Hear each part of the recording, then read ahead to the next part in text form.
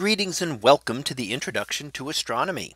In this video, we are going to discuss gravitational waves, which are a relatively new discovery, although they were predicted long ago by Einstein's theory of general relativity. So let's take a look at what we have here. And what we know is that first of all, the gravitational waves were a prediction of general relativity. So this was back in 1916 that they were predicted. It took about a hundred years for them to actually be detected. What it is is that any accelerating object with mass will produce gravitational waves.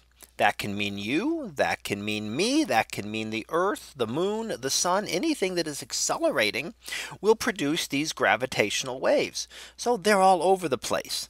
The problem is that gravitational wave gravi the gravitational force is so weak that gravitational waves are really hard to detect because they are so weak. So the gravitational waves that I give off are so small that they could not possibly be detected or distinguished from other background gravitational waves.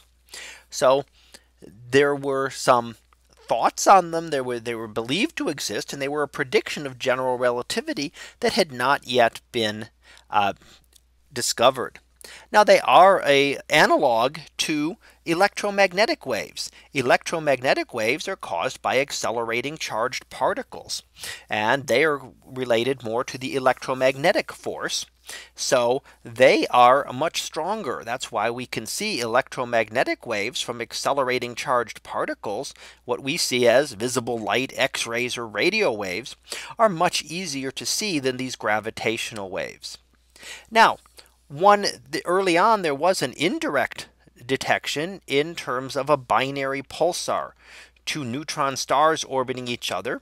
And we can determine their orbits and their orbit is slowing because they are giving off gravitational waves. Remember that energy has to be conserved. So if gravitational waves are being given off, the energy has to be coming from someplace in that system. And in this case, the orbit was found to slow by the exact amount that general relativity described. However, it was only recently that we've been able to directly detect these gravitational waves. So let's take a look about how, at how we could do that.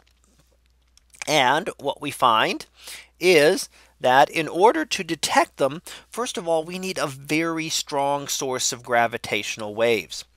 The moon moving, the sun moving, the earth moving are not going to be near strong enough.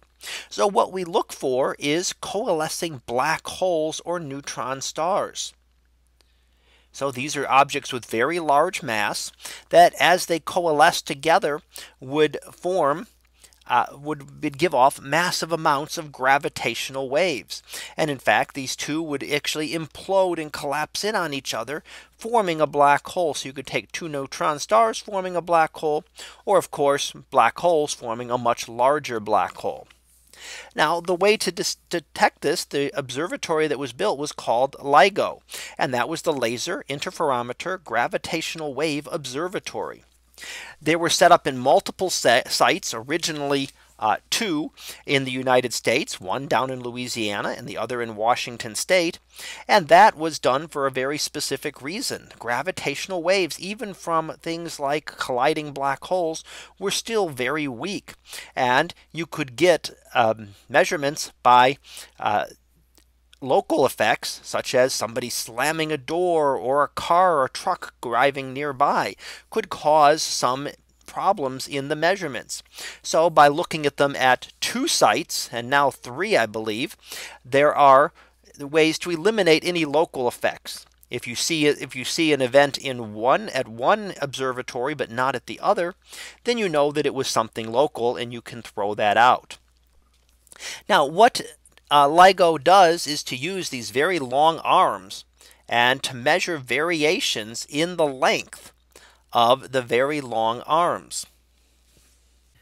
So essentially what happens is we send a laser signal down and back across here a number of times and then split that signal. Now it goes two different directions. There is one that goes down this one that goes down here.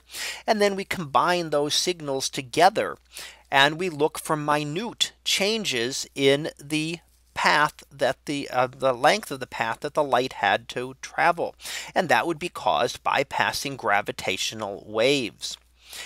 And the amount, of course, we're looking for is incredibly tiny. We're talking about less, less than atomic size shifts in the amount of the uh, paths that are traveled. And these paths are kilometers long. But however, in 1950, or sorry, in 2015, they were able to make the first detection of these gravitational waves. So what was found? And what have we seen so far? Well, something quite like this. And in fact, GW 150914 was the first detection. The detection was actually made on September the 14th of 2015 and was not announced until it had been confirmed and verified a few months later in February of 2016. The uh, visibility was seen here. This was in Hanford, Washington, and this is in Livingston, Louisiana.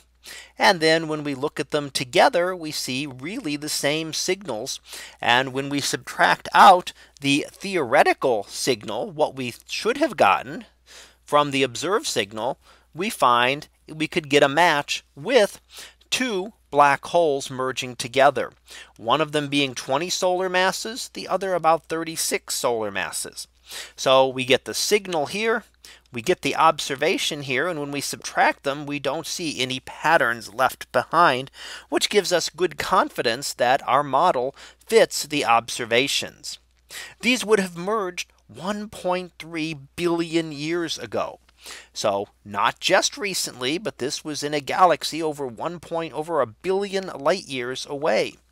So the Earth was, of course, quite different at that time.